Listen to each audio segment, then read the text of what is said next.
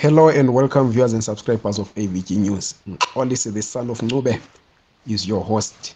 And I'm here, as I promised yesterday, to give an update on the court case between the MK, that is Mkonto Wesizwe Party, and the Independent Electoral Commission of South Africa.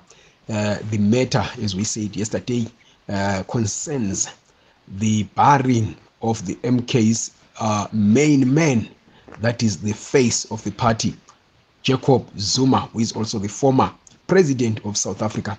You will remember that yesterday the MK took the IEC to court after they were told last month that Jacob Zuma would not be allowed to stand as or to be included rather uh, in the list of MK uh, parliamentary representatives going into this election. So the MK took uh, the IEC to court because the IEC's argument was that Jacob Zuma was convicted, and therefore, since the Constitution of South Africa uh, stipulates that any person who was uh, sentenced to 12 months with no option of a fine cannot stand uh, in any election, especially parliamentary representation. So the MK argued that Zuma was convicted not on a criminal case because the contempt of court emanated from a civil matter and not a criminal case. Uh, so they took uh, this to court and they argued that Zuma's uh, conviction was in fact a political matter.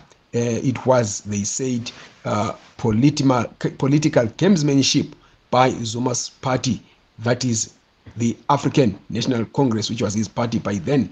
So they said that he was victimized, he was a victim of judicial capture uh, by the ruling African National Congress under President Cyril Ramaphosa. So the court has issued its judgment and it has allowed Jacob Zuma to stand uh, or to be included in the list uh, of Umkhonto Wesizwe's representatives. So the order by the court reads as follows. Having heard counsel for the parties and having read the papers filed of record, the following order is made.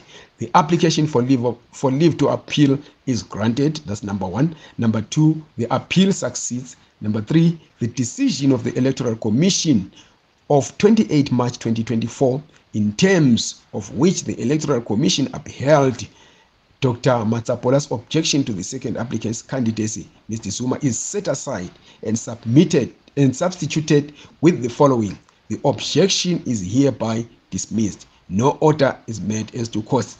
So uh, it has now been determined and agreed that Jacob Zuma is going to be a member in the list that is going to be provided by the MK going into this election. Expect him also to be the face of the party as he has always been.